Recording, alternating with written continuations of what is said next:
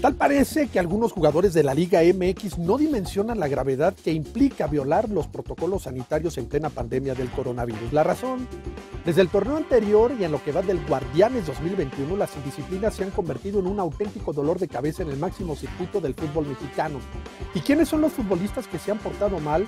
Alan Mozo de Pumas es el que más indisciplinas acumula en su cuenta personal y que le han valido suspensiones, multas e incluso hasta un aislamiento. En marzo del año pasado fue visto con sus excompañeros David Cabrera, Sebastián Saucedo y Juan Pablo Vigón. Cinco meses después acudió a una reunión de Pablo Cepelini de Cruz Azul y la más reciente, previo al duelo ante Querétaro de la fecha 3 del Guardianes 2021, fue sorprendido en un bar sin cubrebocas. En agosto pasado, Uriel Antuna y Alexis Vegas se jugaron su permanencia en Chivas tras filtrarse en las redes un video donde ambos aparecen cantando y acompañados de una botella de vodka.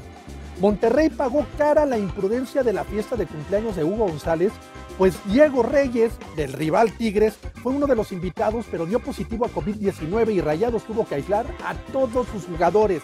Uno de los casos más recientes fue el de Jonathan Rodríguez de Cruz Azul, pues durante el juego ante Puebla salió a la luz un video en el que el cabecita aparece en una reunión sin el cubrebocas y con el uniforme de la concentración de su equipo.